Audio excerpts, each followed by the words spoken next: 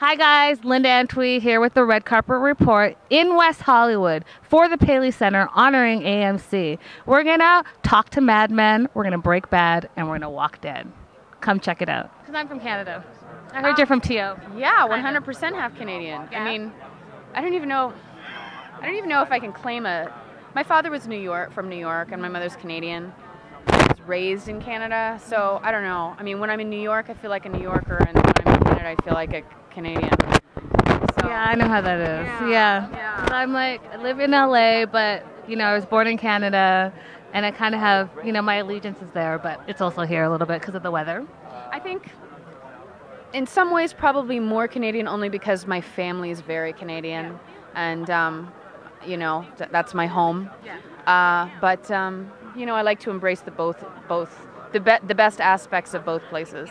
So if there was a hockey game and it was the Canucks in LA, where would your allegiance go? I hate me. haters. Not doing that. Are you kidding me? Oh my God! Open up controversy. That's like asking me who are you voting for. It's like, oh yeah, I want to answer Yeah, that me too. question. Yeah. Your show's amazing.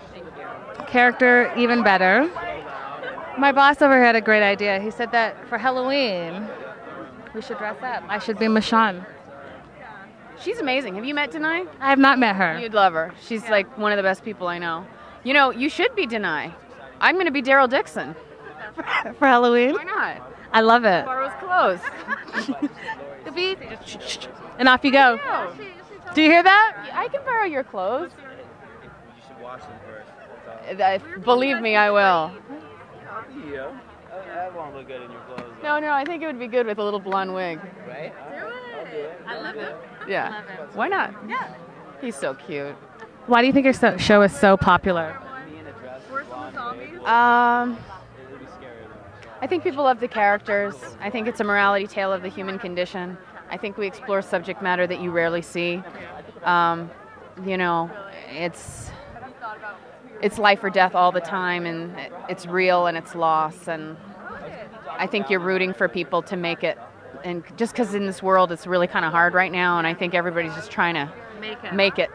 Thank you so much for stopping by. Have an amazing rest of evening. Thank you. Be Michonne. Yes, I will.